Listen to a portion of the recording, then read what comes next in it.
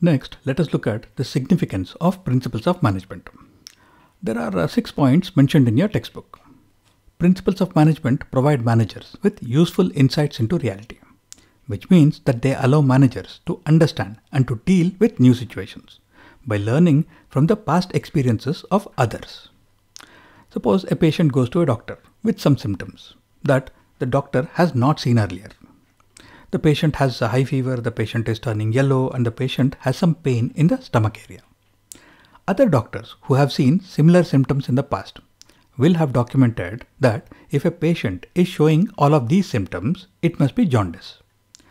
By referring to the experiences of other doctors, this doctor who has not seen such symptoms earlier can quickly understand that this is probably a case of jaundice and can ask the patient to undergo some tests to confirm the diagnosis and provide treatment. The experience of this doctor will confirm the previous knowledge and if there are any new learnings, they can also be documented and added to the previous knowledge so that other doctors in the future can make use of this body of knowledge.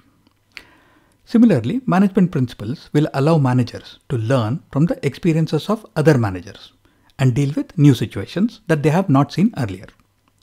By learning from the experiences of other managers, any business situations, which might be problems or opportunities, can be dealt with quickly by reducing the need for trial and error. Which means that these principles help in the optimum utilization of resources and in effective administration through better utilization of resources, time and money.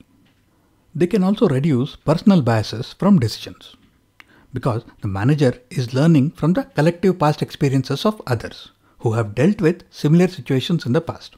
So, even if the manager wants to react in a particular way, which might be the wrong way, the principles can guide him to act in a different way, which is the correct way.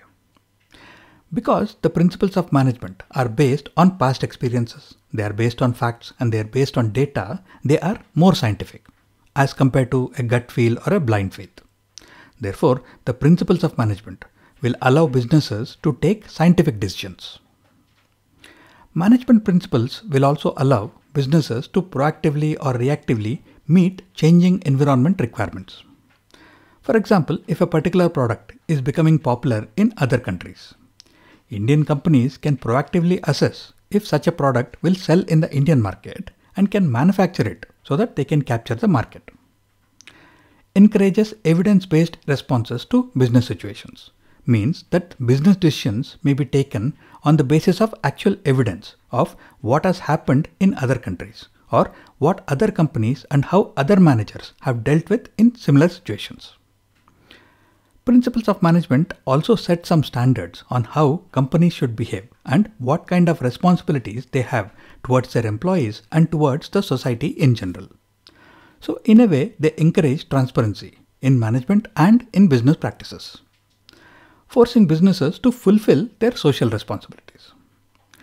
And uh, because the principles of management are part of a documented body of knowledge, which is constantly growing and evolving, these principles become the basis of the study of management as a subject.